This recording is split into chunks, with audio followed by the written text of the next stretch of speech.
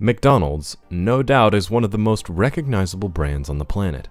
We can spot those golden arches from miles away. Our mouths salivate at the thought of a hot Big Mac and a box of crisp fries. While that's certainly not the healthiest knee jerk reaction in the world, it just goes to show how powerful good branding and advertising can be. But what if we told you that McDonald's wasn't making its money from flipping patties and frying fries? McDonald's is actually a real estate conglomerate. So, how exactly does McDonald's actually make their profits? Post Great Depression America saw a massive boom in technology and business. More and more Americans began driving, and as a result, drive up restaurants rose in popularity. However, the only difference between these drive ups and a typical dining experience at the time was where you ate your food. You still had a waiter who came out to the car to take your order. You still had to wait for that food to be prepared by a chef and brought out to you on reusable dinnerware. You ate in your car, and when you were done, you returned your plates and silverware to the restaurant. The McDonald brothers sought to change that. In 1948, Richard and Maurice McDonald opened the first McDonald's location in San Bernardino, California. It was known for what the brothers called speedy service system and offered 15 cent hamburgers faster than anybody had seen at the time. The restaurant worked like a well oiled machine, churning out massive amounts of food in record time. The McDonald brothers also did away with reusable silverware and instead packaged their finger food in disposable wrappings. Then along came Ray Kroc, a milkshake machine salesman that had been doing business with the McDonald brothers. He saw the opportunity for growth that was sitting right under their noses, and he only needed one word franchise. Skeptical at first, the brothers agreed to let Ray take full responsibility of the restaurants he franchised. They agreed to take one half of 1% of the sales brought in by Ray's restaurants. Ray, at the time, may have bitten off more than he could chew. His franchising plan focused solely on licensing and royalties. Potential owners were responsible for buying the land and building the restaurant itself, obviously an expensive undertaking. That's when Ray met a man named Harry Sonneborn. An American businessman at the time, Sonneborn would soon become the first president and chief executive of the McDonald's Corporation, and he did so by tweaking Kroc's business plan. Sonneborn's plan was simple McDonald's would own the land and the building. They would then lease the building out to owners for a marked up monthly rent. His idea would blow the doors off the McDonald's brand and turn it into the global real estate powerhouse it is today. Here's how it works McDonald's owns the land and the building. A private entrepreneur whose lifelong dream was to own and operate a McDonald's agrees to lease the property and assume the day to day responsibilities. Let's use some digestible numbers as an example. Let's say McDonald's pays $10,000 a month for a property. They'd charge the franchisee $12,000 per month rent a 20% upcharge. However, that upcharge has increased over the years as McDonald's has learned how much money they can truly make by leasing properties, rather than owning them outright. Today, rent can be as high as a 40% upcharge on the value of the property. Rent can also be calculated as 10.7% of the restaurant's sales, and such deals are agreed upon at the time of signing. Of course, rental price of operating McDonald's is all about location. Rent isn't the only expense that the owner's on the hook for. They're also charged an initial $45,000 investment to use McDonald's image and likeness. McDonald's has been raking in more than $19 billion per year since 2005. The company peaked in 2013 with $28 billion in total revenue. They have, however, been on a slight decline in recent years, bottoming out at $19 billion for 2020. McDonald's largest profit margin comes from their franchised restaurants. Get ready for this figure. There are over 36,000 McDonald's restaurants around the world, but McDonald's only owns and operates 15% of them. Capitalizing on rent keeps McDonald's in the green even during economic hardships. They aren't worried about how many burgers their restaurants are selling, all they care about is collecting rent. You may be wondering what it's like owning McDonald's. First, eager entrepreneurs must submit an application to be considered.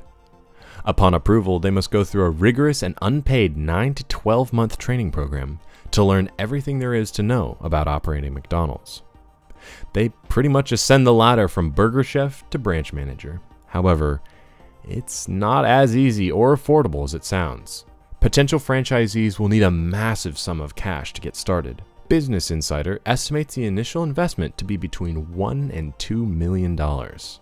This investment covers everything from down payments, equipment, building upgrades, remodeling, and inventory stock. Furthermore, 40% of the initial startup cost must be paid in cash or non borrowed funds. The rest can be financed. According to McDonald's, the average cost over the first three months of opening a new restaurant is between $400,000 and $2.2 million. While the difference is staggering, it all comes down to location. McDonald's makes a killing off the leasing of properties because it's the restaurant owners that are on the hook for business expenses, not the corporation. After paying what they owe in rent and royalty fees, owners still need to manage payroll, inventory, bills, and other costs associated with running a business in general. They don't really need to spend money on advertising since the Golden Arches sell themselves. Of course, you could always look at their royalty fees as their advertising costs. Those royalty fees equal about 4% of the restaurant's monthly sales. At the end of the year, McDonald's owners make an average of $150,000 per year. However, that's compared to the $2.7 million in total sales brought in by the average McDonald's restaurant. Some quick maths tell us that the average operating cost of McDonald's is $2.5 million. McDonald's isn't the only company with its hands in the real estate pool.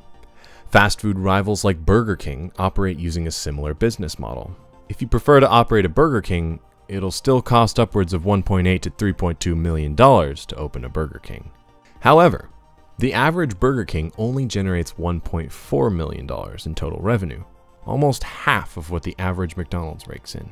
On the other side of the aisle is Chick-fil-A, with an average store revenue of 4.1 million dollars. Unlike McDonald's and Burger King, your initial investment to get into a Chick fil A is only $10,000. However, Chick fil A owners are more like glorified managers. They don't have any real ownership over the store. Furthermore, it's incredibly difficult to buy into a Chick fil A in the first place. Although they receive thousands and thousands of applications per year, they only open between 80 to 100 restaurants. So let's say you've decided to open a restaurant. The decision you have in front of you is simple start from scratch, or franchise an existing brand. Starting from scratch comes with its obvious risks. Nobody knows who you are, how your food is, or what it'll cost them to eat at your establishment. However, you retain full control of your business and don't have to adhere to any standards set by your corporate overlord.